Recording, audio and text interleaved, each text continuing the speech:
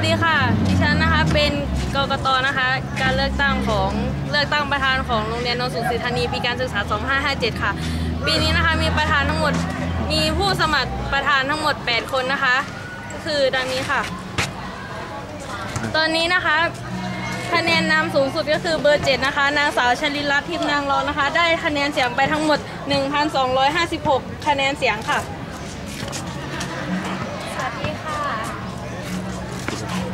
สวัสดีค่ะ ก็ขอขอบคุณพี่น้องชาวฟ้าขาวทุกคนนะคะ ที่ให้ความไว้วางใจ แล้วก็เลือกให้เป็นประธานในปีการศึกษาหน้าค่ะขอบคุณ